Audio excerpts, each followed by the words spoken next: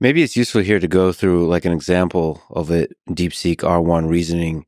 Yeah, so the, if if you're looking at the screen here, what you'll see is a screenshot of the DeepSeek chat app, and at the top is thought for 151 seven seconds with the drop down arrow. Underneath that, if we were in an app that we were running, the drop down arrow would have the reasoning. So in this case, uh, the question, the specific question, which you know, I'm philosophically slash pothead inclined. So this is uh, asking Deep DeepSeek R1 for one truly novel insight about humans and it reveals the reasoning and basically the true truly novel aspect is what's pushing the reasoning to constantly sort of the model asking itself is this truly novel so it's actually challenging itself to be more novel more counterintuitive uh more uh, less cringe i suppose.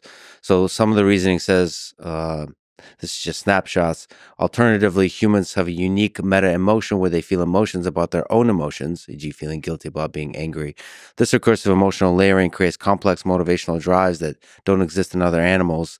The insight is that human emotions are nested. So it's like it's reasoning through how humans feel emotions. It's reasoning about meta emotions. It's gonna have pages and pages Yeah, of this. exactly. It's almost too much to actually read, but it's nice to skim as it's coming. It's a stream of con. It's a James Joyce like stream of consciousness, and then it goes, "Wait, the user wants something that's not seen anywhere else. Let me dig deeper." And uh, consider the human ability to hold contradictory beliefs simultaneously. Cognitive dissonance is known, but perhaps the function is to allow flexible adaptation, so on and so forth. I mean, that really captures the public imagination that holy shit, this isn't uh I mean, intelligent slash almost like like an inkling of sentience because like you're thinking through, you're self-reflecting, you're deliberating.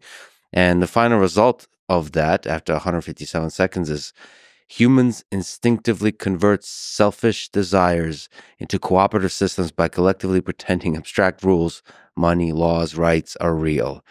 These shared hallucinations act as, quote, games, where competition is secretly redirected to benefit the group, turning conflict into society's fuel. Pretty profound. I mean, you know, This is a potential digression, but a lot of people have found that these reasoning models can sometimes produce much more eloquent text. That is a at least interesting example. I think depending on how open minded you are, you find language models interesting or not, and there's a spectrum there. Well, I mean, it's some of the, we'll talk about different benchmarks and so on, but some is just a vibe. Like that in itself is a, let's say, quote, fire tweet. Yeah. If I, if I we're trying to produce something, something where people are like, oh shit. Okay. So that's chain of thought. We'll probably return to it more